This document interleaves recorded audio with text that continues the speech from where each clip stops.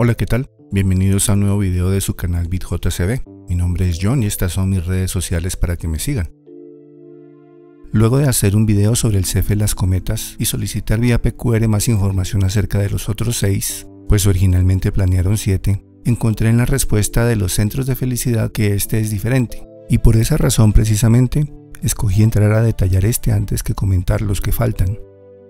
Si quieres recibir información de los otros CEFES o centros de felicidad o sobre obras y contratos billonarios, recomiendo que te suscribas al canal ahora mismo, haciendo clic en mi logo abajo a la derecha.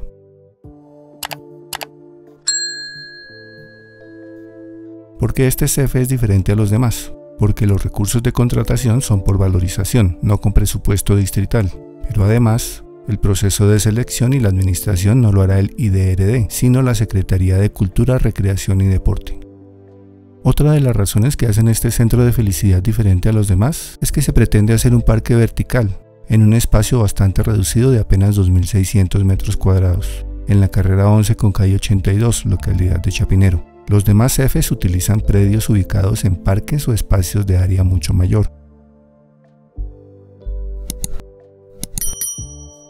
Centro de Felicidad del Retiro. Es una edificación que combinará la belleza del bosque andino en un espacio vertical de 10.639 metros cuadrados, distribuidos en cinco ambientes. La estructura tendrá 10 pisos, un semisótano y un sótano, polideportivo, una piscina semiolímpica, dos piscinas recreativas, restaurante y cafetería, teatro urbano, salones de juego, cubierta transitable, auditorios, galería y sala de exposiciones, gimnasio, ludoteca, salones de formación artística y parqueaderos.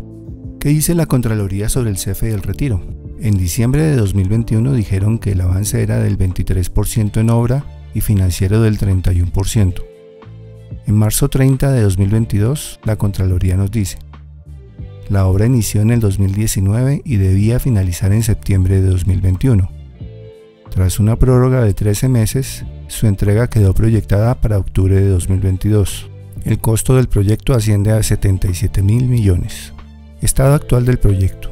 Con tan poca información disponible, podemos basarnos en el informe 025 de enero de 2022, publicado en SECOP el 24 de febrero de 2022.